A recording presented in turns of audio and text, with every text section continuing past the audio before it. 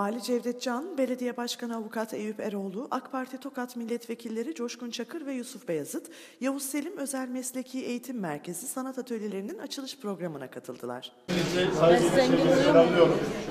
Bugün Yavuz Selim Özel Eğitim ve Mesleki Eğitim Merkezi olarak Şehit Ömer Halis Demir ve Sanat Atölyesi teşhis salonunun açılması için toplanmış bulunuyoruz. Teşhisleriniz için teşekkür ederim. Sizden Allah razı olsun. İnşallah bu e, hafif düzeyde zihinsel engelli öğrencilerimiz için yapmış olduğumuz bu çalışmalar e, sizler de göreceksiniz, san, sanırım takdir edeceksiniz. E, az sonra sizlere orayı takdim edeceğiz. Açılışınız Sayın Valim buyurun. Teşekkür ederim. Biz aslında mü- müjdeyi sahibinden burada verir misiniz? Müjde verir misiniz?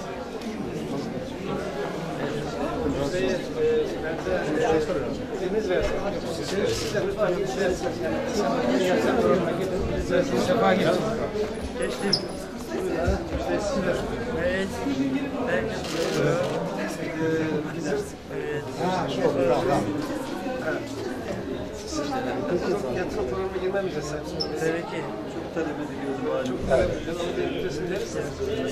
Değerli arkadaşlar, Sayın Valimin kağıda buyurmuş olduğu müjde, bildiğiniz gibi Tokat'ımıza 12 derslikli bir özel okul açılacak. Ve bu sene yatırım programına alındı. Sayın Milli Eğitim Bakanımız buraya geldiğinde de konuşmalarında beyan etti. İnşallah bugün burada bu açılışı yaparken en kısa sürede Allah nasip ederse o okul bitmiş olacak ve yine hep beraber Allah sağlık versin hepimize o okulun bitmiş haliyle açılışı yapacağız inşallah. Tekrardan hayırlı olmasını diliyorum. Senin adın ne? Senin adın neydi? Demiş. Evet, demiş kesti. Hadi bak. Sefa, hadi bakayım. Bu makas. Sefa da kesti. Alkışlayabiliriz. Sefa, demiş. Buyurun. Hadi verelim ona. Hadi. Mevzu o ya. Kapatacağız yani. Bunu yapalım. Hemen okulda haftalarda yapmış olduğumuz etkinliklerde görsel sanatlar öğretmenimizin bize özel eğitim öğrencilerine yapmış olduğu 15 Temmuz temalı. Güzel bir Özel Vali Cevdet Can, Belediye Başkanı Avukat Eyüp Eroğlu, AK Parti Tokat Milletvekili Coşkun Çakır, spor lisesini ziyaret etti. Çekiş bölümü sen. Maşallah. Güzel. Ya kulakları çıktırmamışsın da. Efendim?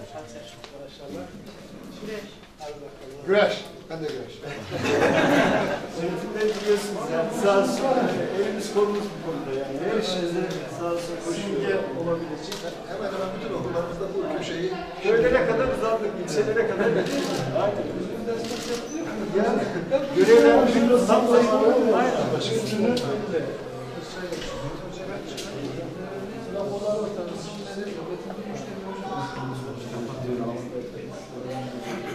Bu arada sınıflarımız. Nasılsınız arkadaşlar? Ne dersi var şimdi? Temel spor eğitimi. Haftada kaç saat? Haftada 4 saat. 4 saat. Şimdi kaçta başladı, kaçta bitecek? 12 biraz O zaman iki dakika var. Kim veriyor dersi? Dursun Hocam. Hocam. Peki, e, bugün bir saat miydi, iki saat miydi? 1 saat. 11-12 arası. Kaç dakika ders? 40 dakika, teneffüs 10 dakika. Öğle yemeği ne zaman? Gidiyorsunuz. Nerede yiyeceksiniz? Evde bazılarının evde bazılarının yurtta. İsteyenler yurtta yiyebiliyorlar. Hemen yağda da yemek halimiz Eve nasıl gidiyorsunuz? Evde Sonra kaçta geliyorsunuz? Serviste eve gidiyorsunuz. Demek ki geri geliyorsunuz. Zor ya. Yani diğer miras evinin nasıl Sınıf mevcudunuz kaç? 27. Senin adın ne? Mücahit. Sınıf mevcudu 27. Kaç erkek kaç kız? Toplam 27. 27'den kaç kız kaç erkek? 19 erkek, 8 kız. Kız az zaman demek yani. Ha, doğru. Toplamda 14, 14 kızımız var. 40 değil erkek var. Zaten erkek daha kalabalık değil mi? Kızlar kendi içerisinde, erkekler de kendi içinde yarıştığı için.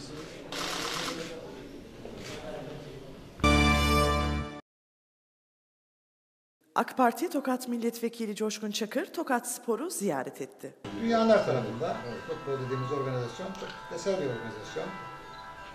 Yüz binleri, milyonları ilgilendiren bir e, organizasyon.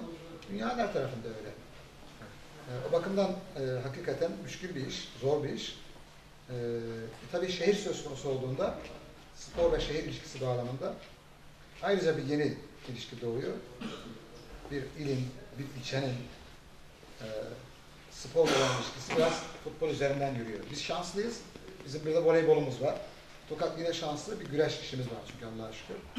İlginç bir şekilde son zamanlarda halter, ondan sonra bizim Turan Hoca'nın öğrencileri tekvando, mu? tekvando vesaire Tokat'ta bir çeşitlenme de oldu. Bizi mutlu ediyor tabii bu.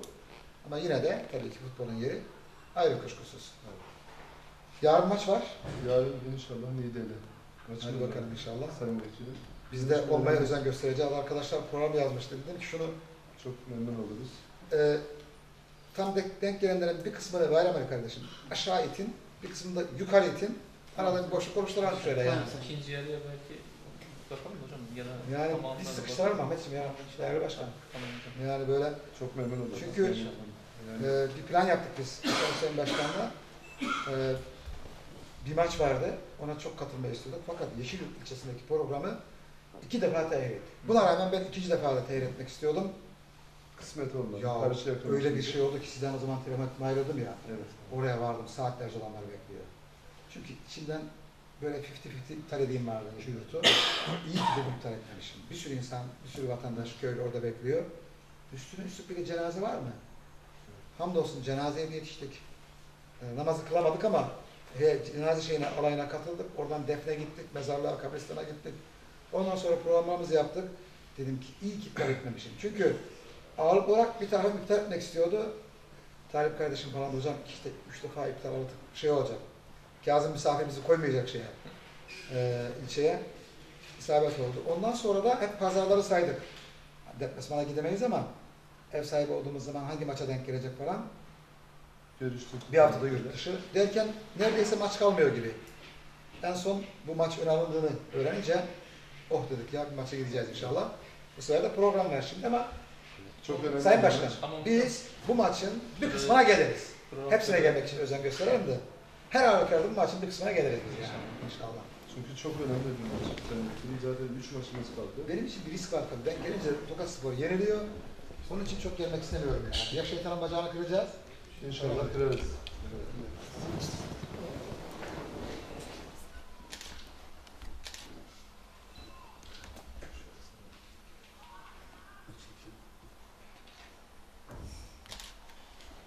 Sayın Vekilim. Arkadaşlar şöyle. Sayın Başkanım. Ahmet Bey sen de gel yanımıza.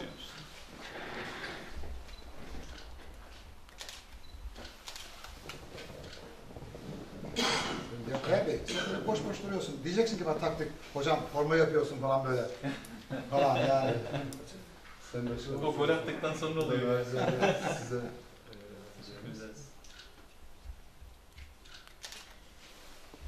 çok teşekkür ederim.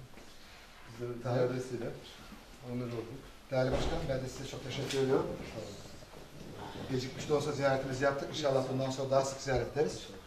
Daha çok bir arada oluruz. Türkiye'de pazar günü yapılacak olan halk oylamasında oy kullanmayacak olan uzun yol şoförleri seçimlerde terminallere, kamyon garajlarına sandık konulmasını istiyor. Tokat'ta şehirler arası yolcu taşımacılığı yapan otobüs şoförleri seçimlerde oy kullanamamaktan şikayetçi. Seçim günü yolda olacak olan yolcu otobüsü, kamyon ve tır şoförlerinin yanı sıra muavinlerle birlikte binlerce uzun yol şoförü oy kullanamayacak. Tokat Şoförler ve Otomobilciler Esnaf Odası Başkanı Zeki Yakar da 20 yıl uzun yol şoförlüğü yaptığını ve bu süre içerisinde oy kullanamadığının altını çizdi. Başkan Yakar, Tokat'ta 1500 uzun yol şoförü olduğunu belirterek, uzun yol şoförlerinin mağdur olmaması, oylarını kullanmaları için terminallere, kamyon garlarına sandık kurulursa iyi olacağına inanıyoruz. Ben uzun yol şoförü olarak çalıştığım 20 yıl içerisinde oy kullanamadım. Uzun yol şoförleri de vatandaşlık görevlerini yerine getirmek istiyor diye konuştu. Ben 23 yıllık vas- vasıta şoförüyüm.